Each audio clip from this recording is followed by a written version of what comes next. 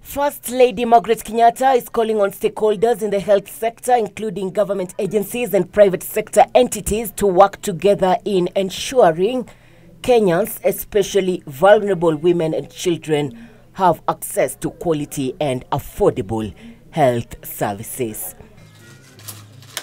Speaking in Tana River while unveiling an ultra-modern hospital, the First Lady hailed the county government of Tana River for the improvement of health infrastructure, saying the construction and equipping of 50 dispensaries over the last five years is a commendable achievement.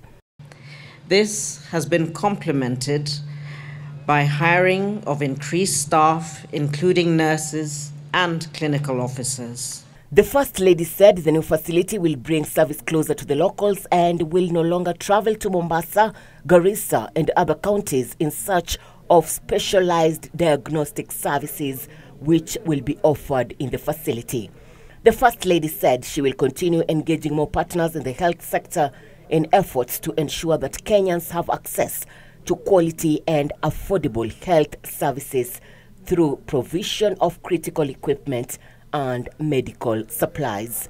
The well equipped new modern maternity and neonatal unit, which we have commissioned, has not only ensured the safe delivery of babies and availability of post and antenatal care for mothers, it has eased the congestion previously experienced. Number of mothers attending antenatal clinics increased from 7,972 in 2017 to 11,641 in 2019, which translates to an increase by 36%. Area Governor Dhadho Godhana commended the First Lady for championing access to quality health for all Kenyans, especially women and children, saying her efforts have greatly helped in reducing maternal and child mortality in the country.